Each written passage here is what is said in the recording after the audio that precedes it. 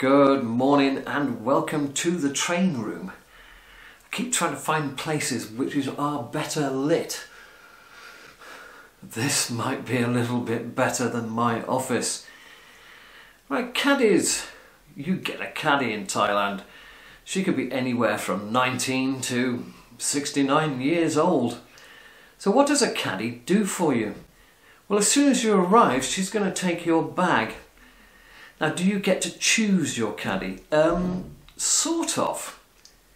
You know, if you turn up as a four ball, then four caddies are going to get out of their seats and come across to the back of the vehicle to take the golf bags. So if you spot one that you think you might like, grab your golf bag quick and give it to her. You've made a choice. So they disappear off with your bag you go to the locker room, change your shoes, you go out the back of the clubhouse to the golf course and she'll be there waiting for you. And if you're driving, then everything will be on the golf cart. She'll have got your umbrella out, your towel. She may have even got some balls out and a few tee pegs. But essentially she's going to give you the line of play off the tee. And if she's been doing it a long time, she'll be able to tell you how far it is to certain bunkers and trees and hazards and stuff.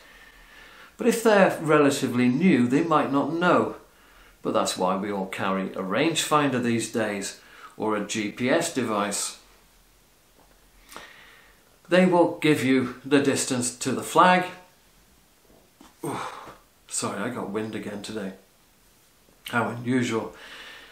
So they'll give you the distance to the flag and they may even give you some information about the green, like up, up and down, short is okay, that sort of thing.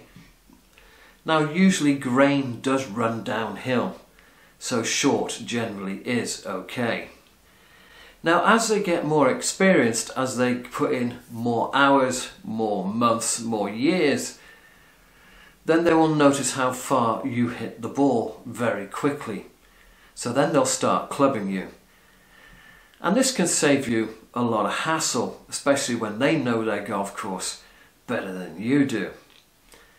And they'll also be able to tell you if you can get over a particular bunker. Now to show you how good they were, or they are, I went to Phuket and I played Phuket Country Club and on the 10th hole you've got that giant horseshoe around the lake and you have to go over the lake. And both times I played it with two different caddies, they told me exactly where to aim on the opposite bank. They knew how far I hit my driver through the air, and so they could pick the exact spot for me to play over and be dry. If I'd been doing it on my own, I might have bitten off more than I can chew and be reaching for another ball. And then on the green, they'll give you a line and a speed. And of course, they'll use a language that's all their own. So you get up and down, which is the direction of the grain, or even medium, if it's across the grain and it's not going to affect the speed. But they also expect you to be able to see that it's uphill and downhill. So down means down grain, it doesn't mean downhill. But if you've got downhill, down grain, it's going to be pretty fast. And it's up to you to do that, to work that bit out yourself. Equally, when you are uphill and into the grain, or the grain is slightly across, you know that if you slightly underhit it, it will turn more. And if you overhit it, it will turn less.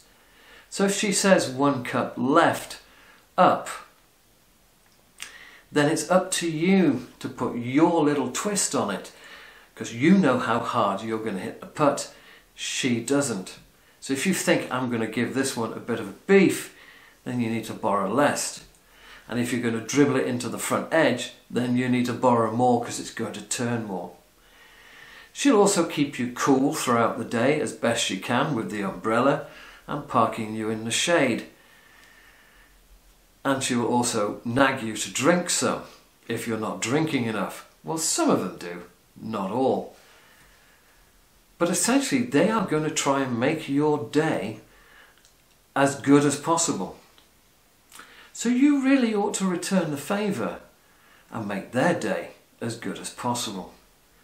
I hope you notice in my videos that when a putt goes in or a long lag stops by the hole, the first thing I do is turn to my caddy and thank her. And if I miss something, the first thing I do is take responsibility for that. I know that I've hit it offline. I know that I've shoved it or pulled it. And it's not the caddy's fault.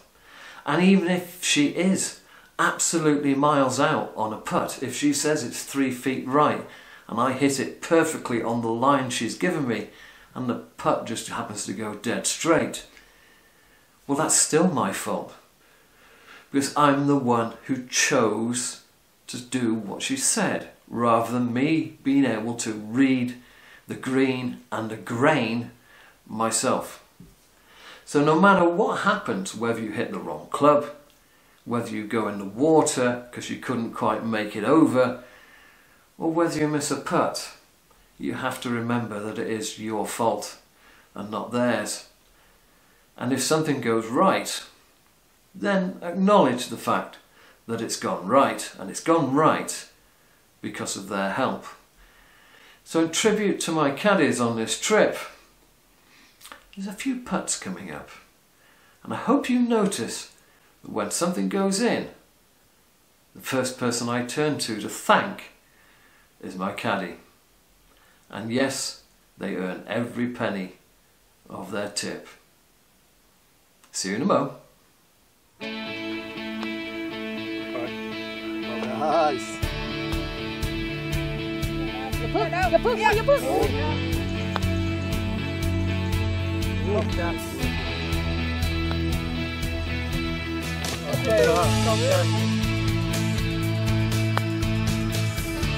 Oh,